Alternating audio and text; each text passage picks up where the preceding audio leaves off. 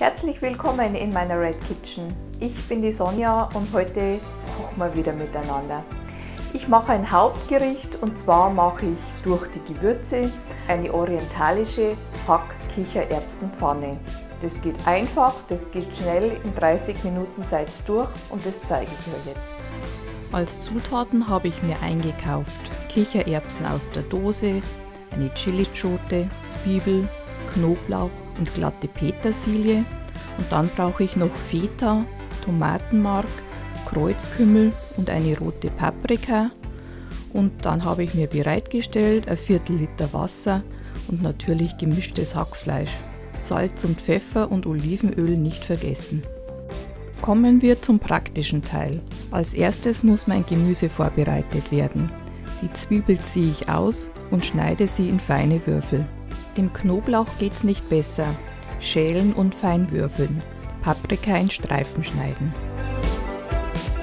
Die Chilischote entkernen, damit es nicht zu scharf wird und anschließend klein schneiden. Die Petersilie wird noch grob gehackt und dann geht's am Herd weiter. Olivenöl in einer Pfanne erhitzen und das Hackfleisch von allen Seiten krümelig anbraten. Das geschnittene Gemüse zum Hack geben und kurz mitbraten. Und jetzt wird gewürzt mit Salz, Pfeffer und Kreuzkümmel. Dann noch das Tomatenmark dazugeben. Mit dem Wasser aufgießen und 5 Minuten köcheln lassen. Die Kichererbsen gesellen sich dann für 3 Minuten zum Hackfleisch. Den Feta grob zerbröckeln, in die Hackpfanne geben und unterrühren.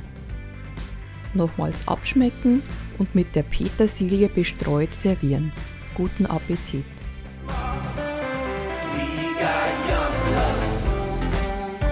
Noch mehr Gerichte aus fremden Küchen kann ich meine Lasagne und das Putencurry weiterempfehlen. Das Rezept findet ihr wie immer auf unserer Homepage. Es ist nur einen Klick entfernt. Außerdem würde ich mich freuen, wenn ihr mir einen Daumen nach oben da lässt. Für euch.